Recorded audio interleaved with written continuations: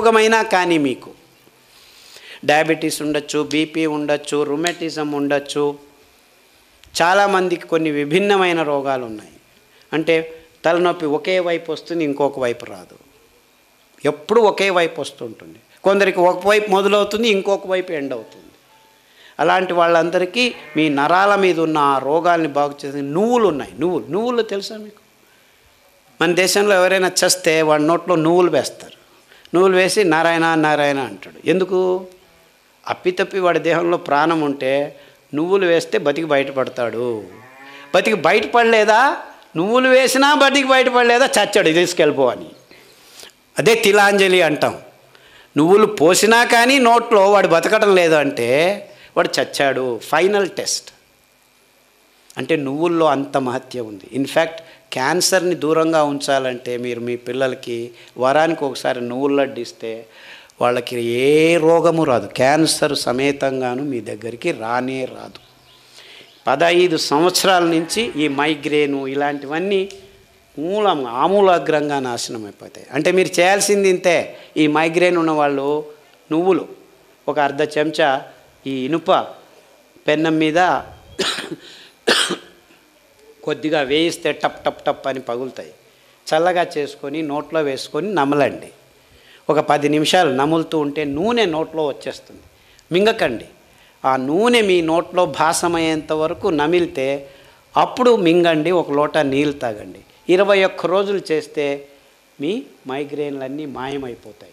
ఇరవై ఒక్క రోజుల తర్వాత almost eighty to ninety percent బాగా అయిపోతాయి కొద్దిగా మిగిలి ఉంటే మళ్ళా ఒక పదహైదు రోజులు వదిలి అప్పుడు ఈత కషాయమో జామా కషాయమో కూ తాగండి. మళ్ళా ఇరవై ఒక్క రోజులు నువ్వులు తినేస్తే అలాగా కంప్లీట్గా బాగా అయిపోతుంది వందల వేల మంది బాగు చేసుకున్నారు. వేల వేల మంది. కానీ మీరు మైగ్రేన్ వచ్చిందని డాక్టర్ దగ్గరికి వెళ్తే ఏం చేస్తాడు? ట్యాబ్లెట్ తీసుకో ట్యాబ్లెట్ ఎంతవరకు? లైఫ్ లాంగ్ తీసుకో. ఎంతవరకు అంటే జోబుల్లో ట్యాబ్లెట్ పెట్టుకొని అందరూ ప్రయాణాలు చేస్తున్నారు. ఇది మైగ్రెయిన్కి ఇది కక్కస్ వచ్చేదానికి ఒక్కొక్క జోబులో ఒక్కొక్క ట్యాబ్లెట్ ఎందుకంటే ఆ ట్యాబ్లెట్ సన్నగా రాసి ఎట్లా చేస్తారు? ఏది ఏ దానికని అర్థం కాదు. సో ఈ ట్యాబ్లెట్ మైగ్రెయిన్కి ఈ ట్యాబ్లెట్ బీపీకి ఈ ట్యాబ్లెట్ అంటే చదువురాని వాళ్ళు ఏం చేస్తారు? అలా పెట్టుకుంటున్నారు. పల్లెల్లో పట్టణాల్లో అయితే పర్వాలేదు. ఏదో ఒకటి చేస్తున్నాం మనం. పల్లెలలో ఇది జరుగుతుంది.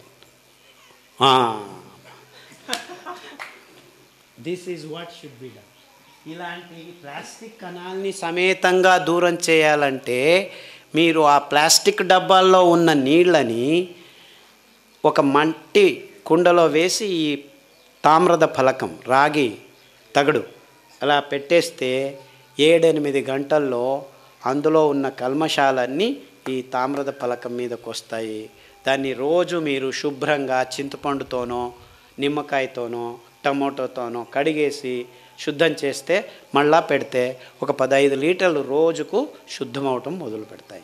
అంటే ఆ నీళ్ళతో రాగి అని కూడా రాగి త చెప్ప రాగి తగడు అని చెప్పాను తామ్రద ఫలకం అన్నాను రాగి తగడు అని చెప్పాను రాగి రేకు తగడు? సో ఇంతే చాలు మీకు. పదహైదు లీటర్ల నీళ్ళు రోజు క్లీన్ చేసి ఇస్తుంది. రోజు మీరు చేయాల్సింది చింతపండు నీళ్ళతోనో నిమ్మ నీళ్ళతోనో కడగాలి. మళ్ళా పెట్టాలి. మళ్ళా రెడీ అవుతుంది. ఆ నీళ్ళతోనే వంట చేసుకోండి. ఆ నీళ్ళతోనే కషాయాలు చేసుకోండి. ఆ నీళ్ళనే తాగండి. మళ్ళీ ప్లాస్టిక్లో వేసుకొని తాగకండి. స్టీల్లో వేసుకొని తాగొచ్చు. Steel is neutral material. తటస్థమైన పదార్థం ఇది. దీనివల్ల ఏ రోగాలు రావు. అంటే మీరు వంట చేసుకునేది మట్టి కుండల్లో కానీ స్టీల్ పాత్రల్లో కానీ మాత్రమే చేసుకోవాలి. తామ్రం రాగి మంచిది కదని రాగి పాత్రలో వంటలు చేసుకోవద్దండి. వేడి చేస్తే రాగి పాత్రలో పదార్థాలు విషంగా మారుతాయి. దీనికి కళాయి పట్టి వంట చేసుకునేవాళ్ళు ముందు కాలంలో. కానీ రాగి పాత్రల్లో నీళ్ళు వేడి చేస్తే స్నానం చేసుకోవచ్చు కానీ తాకూడదు. సో నీళ్ళను వేడి చేయాల్సిన అవసరమే లేదు మీకు. రాగి పాత్రల్లోనూ కొంత ఇంతకుముందు మన ఇళ్ళల్లో పెద్ద పెద్ద రాగి బిందెలు ఉండేటివి. దాంట్లోనే నీళ్ళు పెట్టేవాళ్ళు పొద్దున్న లేచి అవే తాగేవాళ్ళు. కానీ ముందు రాగి బిందెల్ని తోమే కడిగే శక్తి ఉండేది. ఇప్పుడు ప్రజలకి పెద్ద రాగి బిందె ఇస్తే కడగవయ్యా అంటే నాలుగు రోజులైనా కడగరు. అందుకే ఈ ట్రిక్ వేసాం మేము. ఇలా రాగి రేకులను వాడండి నీళ్ళు క్లీన్ అవుతాయని.